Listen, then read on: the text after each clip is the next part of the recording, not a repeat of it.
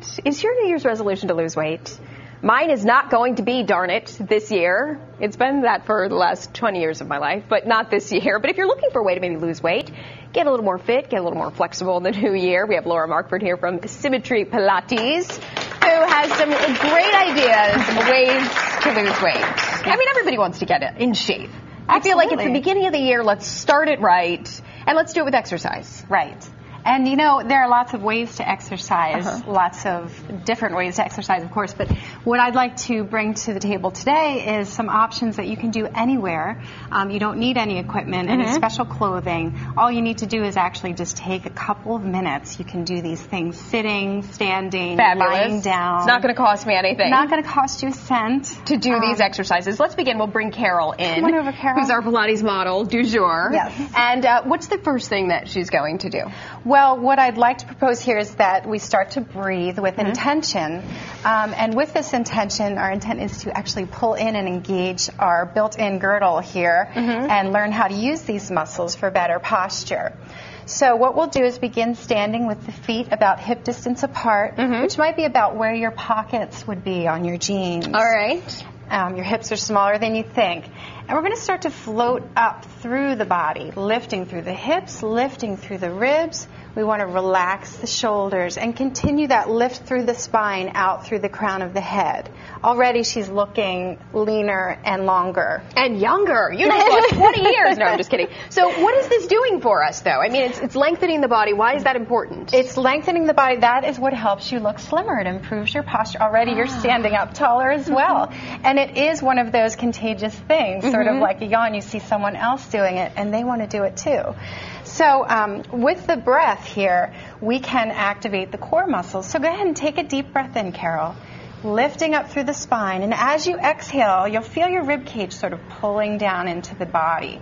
Pull in a little further, in with the belly, and you're engaged in here, protecting the back, protecting um, all the organs inside while you're staying long. You and all that? we're doing is breathing.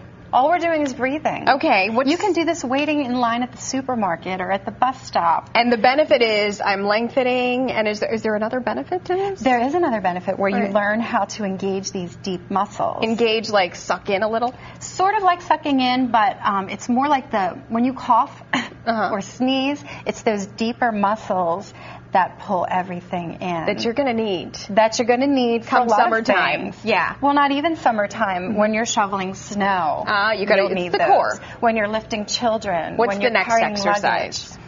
The next exercise is called the standing roll down. And Mm-hmm. again, this is another one you can do sitting or lying down. Um, the standing roll down, you want you to imagine you're standing up against a wall. Mm-hmm. That's right. You pulled your shoulders back, you're lifting through the crown of the head. Go ahead and take a deep inhale, Carol. And as you exhale, start to melt down away from that wall, one vertebra at a time. I'm just walking my fingers down to remind her to, to bend one vertebrae at a time. Mm-hmm. Good. You can go down as far as you feel comfortable. You'll feel an opening through the upper back, a lengthening of the spine, and lengthening of the hamstrings as well. You know, and as simple as this looks, it's something that once you do it, you probably realize, wow, I didn't realize that I hadn't used those muscles in a while. Exactly. And it's different from, than just bending over Uh-huh. at the waist. Right. It's lengthening through the spine. Now, does she stay down there? On the way back up. coming up. Okay, good. Take a deep breath in first, and then exhale. Begin at the bottom of your spine. One vertebra at a time. And again, this helps back with flexibility. We've got like Yes. 30 seconds left, so I want to get to our last exercise. Sure, sure. Um, the last exercise is more of a strengthening exercise Mm-hmm. that strengthens the upper back area. This is called standing swan. Mm-hmm. And what she's going to do is start to reach straight down through your arms there. Now, she has her hands clasped, which Mm-hmm. you can do. If that's uncomfortable for you, you can always reach straight down. Mm-hmm. But we're lengthening straight up through the spine, and then we're lifting as you exhale. Oh, it feels like you're opening up your chest there. You're opening the front of the chest and the shoulder. Oh, stand upright. There we go. We want to stay upright and we're just lifting through the arms. Blowing the breath out, pulling in through the belly and the ribs. And this helps in so many different ways. The good news is you're actually helping our And studio audience if they would like to try a You can do it in your class, chair, right? yes. You can do this in your class, but you're also offering everyone in our studio audience an opportunity to come to Symmetry Pilates in West Chester for free for a free class just to get you started. That's right. Get your um, body moving for the new year. Thanks so much, Laura Oh, Barker you're and Symmetry Pilates. you. We're back with more of the 10 show right after this.